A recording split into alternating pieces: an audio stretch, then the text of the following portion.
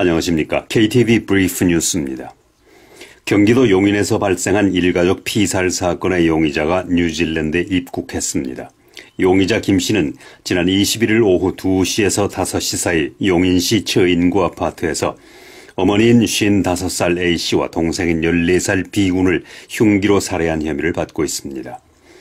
또 같은 날 밤 8시께 강원도 평창군의 한 도로 졸음 쉼터에서 기부인 D씨를 흉기로 살해한 혐의도 받고 있습니다.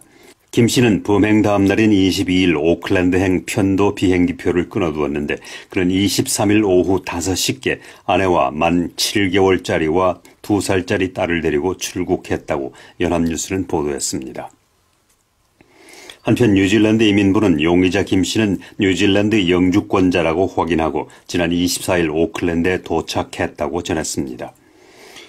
오클랜드의 한 사업가가 한국에서 수입하는 소주의 주세 400만 달러를 내지 않는 혐의로 3년 6개월의 실형을 선고받았습니다.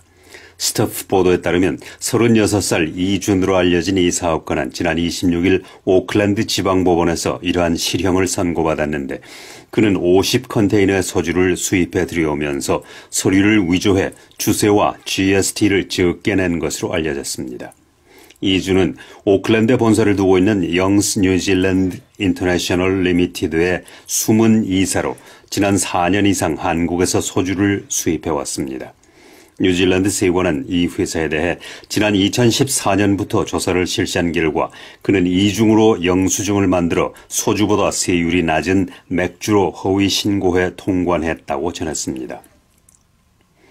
뉴질랜드 세관은 몇몇 컨테이너를 무작위로 조사해 맥주라고 표시된 상자에서 소주를 발견했는데 그동안 이렇게 해서 수입한 소주는 50컨테이너에 100만 병이 넘는 것으로 밝혀졌습니다. 뉴질랜드 세관은 이들 소주는 한국 국내 판매용으로 표시되어 있었고 뉴질랜드 국내에서 소매상이나 식당에 팔기 전 라벨을 다시 붙인 것으로 보인다고 전했습니다. 세관의 조사 담당 매니저는 이러한 사건은 세관이 사기 사건에 대해 매우 심각하게 다루고 있다는 것을 보여주는 것이라고 말했습니다. KTV 브리프 뉴스였습니다.